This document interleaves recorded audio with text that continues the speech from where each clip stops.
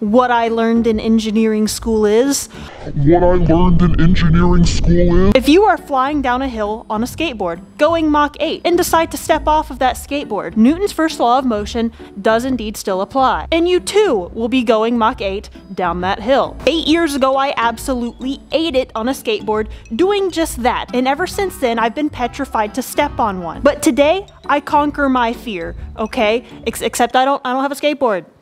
But you know what I do have? A boatload of plastic.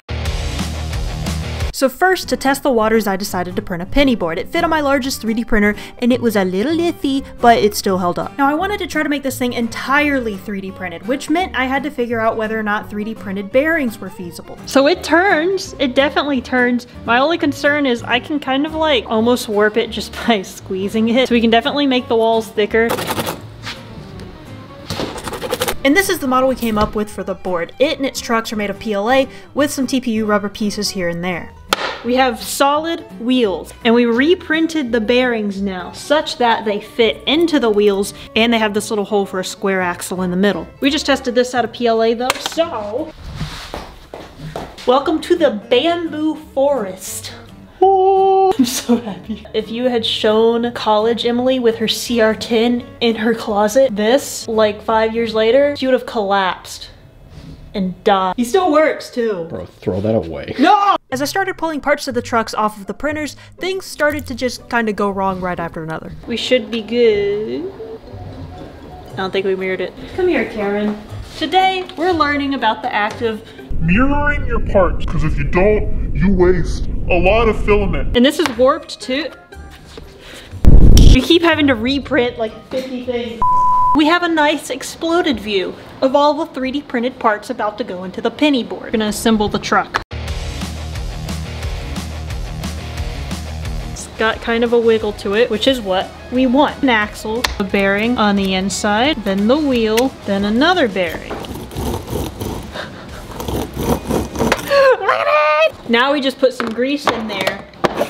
Will this hold my weight? I don't know. For reference, I weigh about between 135 and 140. I am tall but small, if you will. We're gonna end up gluing this piece on the bottom. I, I recognize that these screws are probably not gonna do much structural wise. It's just mainly to center everything. So we're gonna use some glue. Glop.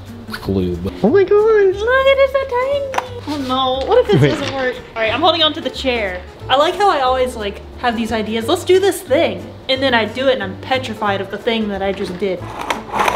Dude, this is gonna break.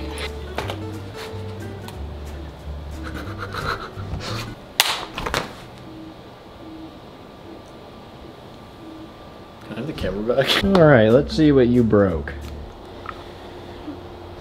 You just I, like I can just like yeah. We printed it long ways with the hopes of it looking nice and pretty, which was stupid because it just did that number.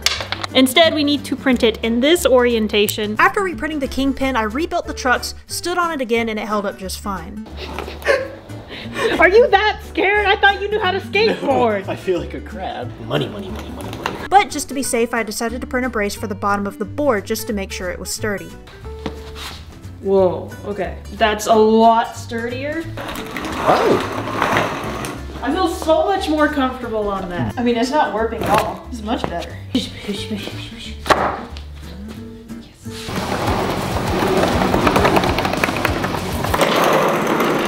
All right, I think it's time to scale this up a bit because the, the title of this video has skateboard in it and this is a penny board so you can stop raging. We're gonna do it. It's just gonna be a little harder. So I started to print the skateboard. I started printing the biggest middle piece on my large printer and the other two side pieces on my Bambu Labs. So we have middle piece, side piece, other side piece. But then on the underside, just for structural integrity, this is where the trucks are gonna go, right? These pieces clip on top here for more structure, and then trucks go on top of this. The question is, can this middle part hold my weight? So I used Gloop to assemble the board since it chemically welds the PLA together, and then I used a soldering iron to weld all the outer seams. Then I used more Gloop to attach the support panels, and I don't think anyone's going to be too surprised to see that this did not hold my weight. So I printed a support piece to go along the bottom just like I did with the penny board.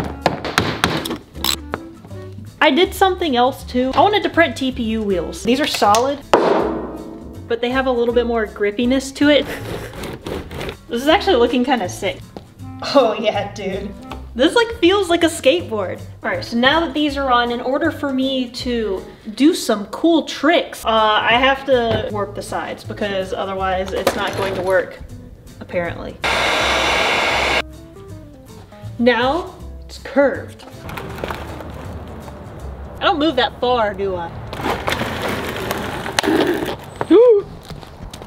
What happened to you? Hello, editing Emily here to save you from that trashy explanation I gave while recording. Basically, when we printed the bearing flat, we had supports to break out, and when you remove them, it leaves gaps in between the balls, meaning that they can run all to one side and throw the entire thing off. And the flexibility of the TPU didn't help with this, so we switched back to PLA wheels, but also in addition to that, we came up with a new design for the bearings. It's, it's like magic. It's like we already did it. So we went from using spheres in the bearing to using cylindrical rollers, and the tolerance now is just right on these guys so that when we break them apart, none get bunched down towards the one side. There's exactly enough needed to fill the entire space. and this was absolutely the smoothest we were able to get it. Whoa. So with that, it was finally time to put it to the test.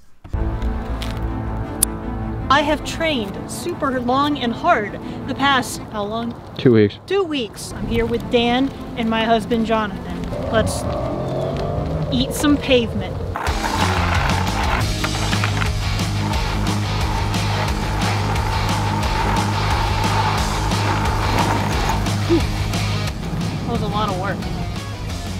That's my wife.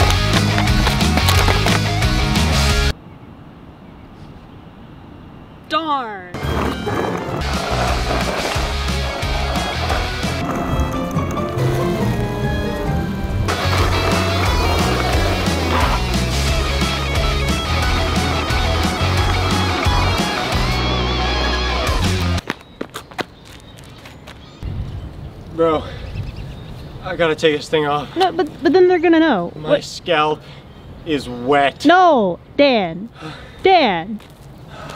Dan, come back, Dan. Dan, no.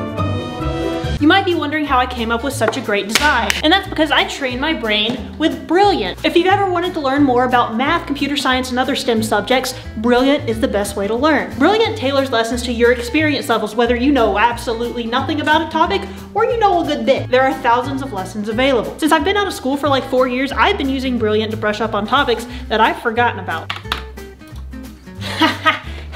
I haven't forgotten everything. I've forgotten a lot. And I can learn on the go with my phone, PC, or tablet. Lessons hold my two second attention span, so I know you'll enjoy it too. And I actually feel like I'm learning something. So if you're interested in trying out Brilliant, you can go to the link in the description and try it out for free for 30 days. And the first 200 of you to click that link will get 20% off of your annual subscription. So be sure to head on over to brilliant.org slash Emily the Engineer. And thank you, Brilliant, for sponsoring this video.